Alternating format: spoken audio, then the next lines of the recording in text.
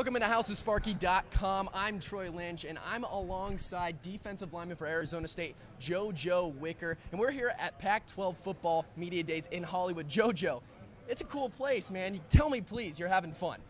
Yeah, man, I'm, I'm having fun. You know, it's it's it's a hard experience to be here, uh, to just to just do all these interviews and stuff like that. It's, Yeah. it's tough, but I mean, it's overall it's been fun. You know, meeting a lot of new people, meeting you, uh, doing all these interviews in front of everybody. Uh, it's, it's it's something I had to learn to do, so it's, it's been fun. Yeah. Yeah, you think you're improving interview-wise? Yeah, definitely. I think I'm improving. You know, especially from my first one when I first got here. I was Yeah. playing, it was kind of bad. Well, you're already doing great. But uh, what about like the slime? You're talking to a whole bunch of people, getting a lot of attention. Is that something you kind of like, attention? Uh, I wouldn't say that, but I Okay. was, I'm, I'm, well, I mean, I like doing interviews. So Sure. Sometimes, you know, it depends. On, like, I like doing stuff like this.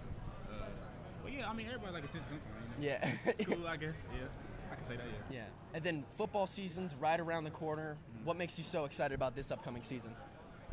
Uh, just, just everything we've done this summer to uh, this this fall camp about to this camp about to coming up. I think we put in a lot of work. Yeah. And we've just, uh, I think we're gonna uh, do big things this year. You know, uh, we worked hard. I think we deserve it. You know, in our new facility, so it's, it's really exciting. I was about just to ask work you. hard and come home to something Yeah. beautiful. You know.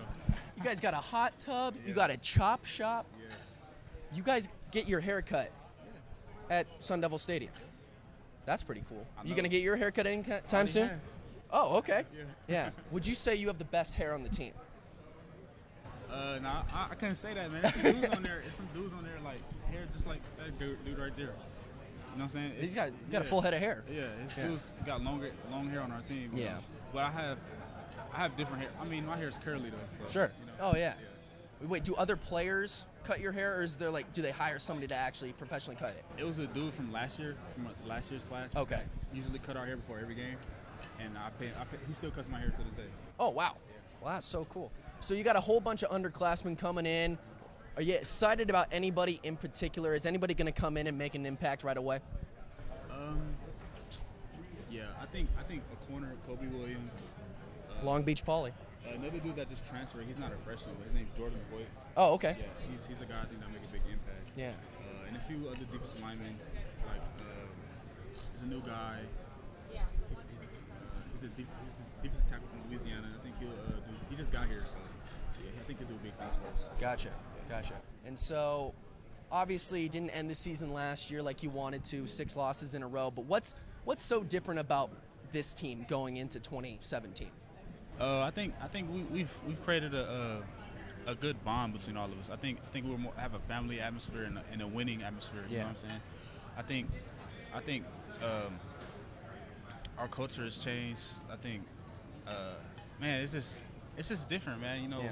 we, we, we have a blue collar mentality, and we- we're we're out here just having fun with it. Mhm. We're not just treating it like it's just football, like football, football, football. It's just, it's we're having fun with it. You know? It's a family atmosphere. Yeah, Yeah. that's great. And Yeah. you obviously had some new additions to that family. Phil Bennett, the new defensive coordinator. How's he fitting in? He's definitely fitting in very well. You know, he's, he's, he's not much different from this man right here. Coach Oh, Brown. okay.